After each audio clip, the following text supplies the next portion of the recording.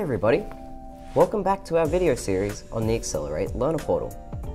This video will demonstrate the configuration of the Learner Portal settings and appearance. Let's get started by navigating back to aXcelerate.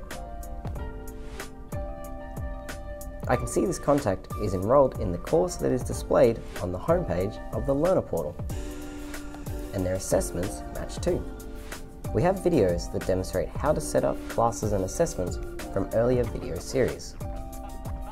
Clicking onto the class and navigating to the update page, you can view or create announcements relating to the class.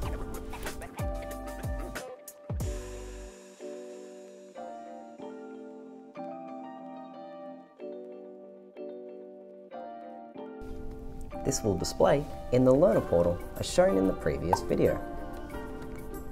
Heading to the qualification update page, you can link an image or upload to display in the Learner portal.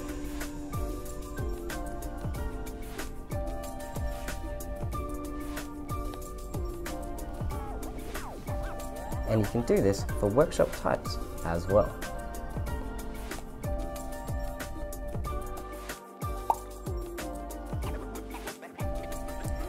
Now heading to System Settings, and then Learner Portal, you can again add or view announcements, and update the logos that appear in the Learner Portal. You can also change the theme, and choose who is the recipient of the feedback the student will send. And you can also control what the student can see and do within the Learner Portal. Navigating back to the Learner portal, I can see that my class now has a logo.